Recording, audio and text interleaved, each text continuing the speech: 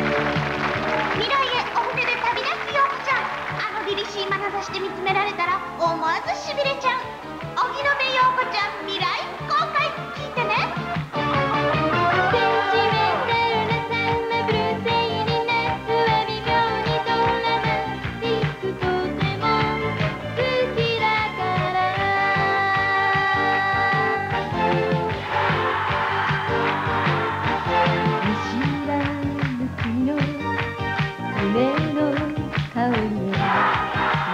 とは甘い潮風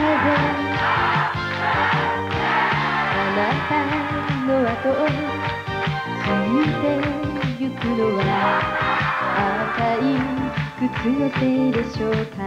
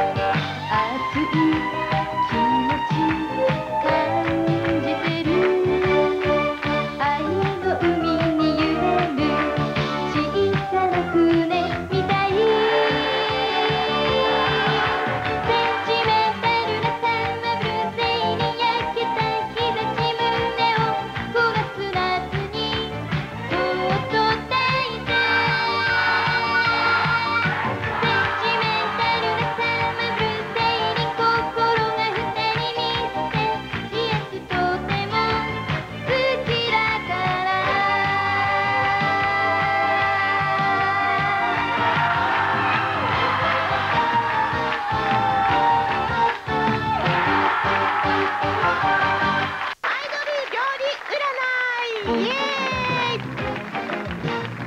というわけでございまして今日ですねなんと荻野目洋子ちゃんのようこちゃん巻でさんカップルは何がお好きですか？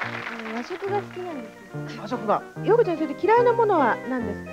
あの生野菜とかあんまり得意じゃないですダメあーなんかものすごくダメなんですってピーマン。そう本当に？なんか小さい頃ピーマンにいたずらされたとか。今が今が何でいらなきゃいけないんですかあんなもの。そういうのはないですね。それはしょうあんなもの。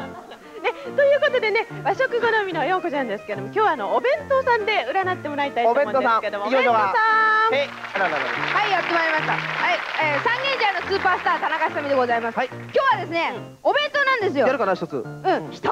一つ言ってみようか聞い。てください。よ、これ。えーと、今日はですね、まず弁当とかけまして、弁当とかけて。かけてリリーさんの歌と解きます。リリーさんの歌とぶその心は。その心はベッドでタバコを吸わないで。ベッドで。弁当でタバなるコ。ちゃんちゃん？そういうわけでございましてね。えー行ってみたいと思います。ねようこちゃん、はい。今日はですねまず、海苔弁ですね。それでハンバーグ弁当。そしてうなぎに幕の内に鮭と。さズバリようこちゃんの選んだお弁当は。一番栄養のあるうなぎです鍋一番金目のもの高いものですよミスターラブリーセバスチャンはい、お答えいたします。あなたの選んだ弁当の種類によって友達運が占えます。鮭弁当。あなたを信頼している友は多く、人気運も急上昇と出ています。海苔弁当。本当はすごく優しい人なのに、周りに誤解されていることもある。ハンバーグ弁当。意地悪をすることに喜びを感じつまらないことで喧嘩をしやすいタイプ。幕の内弁当。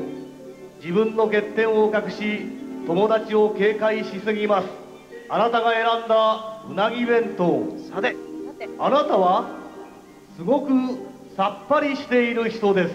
ほ私は私。人は人と割り切りとやかく言わぬ明るい人。みんなはあなたを頼りにしています。